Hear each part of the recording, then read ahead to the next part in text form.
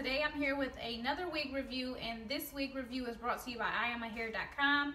I'm going to be reviewing this wig for you guys right here and this wig is the MLC 200 from Newborn Free, okay? And basically, this is just another version of Yara.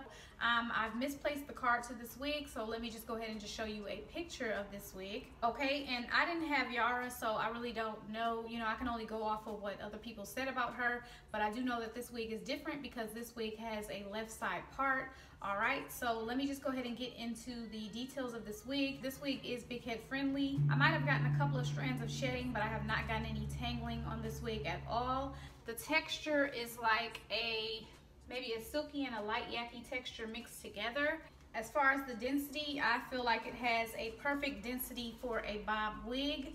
And as far as the parting space, I would say that the parting space is thin. You definitely will need to tweeze the parting space and make it look more realistic. I did not do that. I just put powder in my parting space for right now.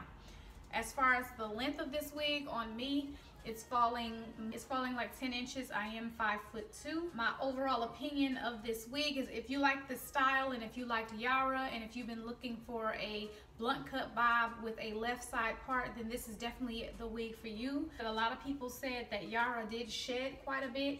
Um, but I haven't really gotten too much shedding with this wig. So, you know, maybe this wig is better on the shedding. I'm not sure. Like I said, I didn't have Yara, so I don't know for sure. This is a very pretty bob. I think that it's cut nicely.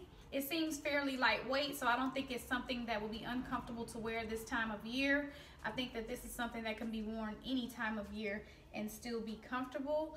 There will be a link to purchase this wig in the description bar for anyone who's interested. And of course, if you guys have any questions or comments, feel free to leave them below.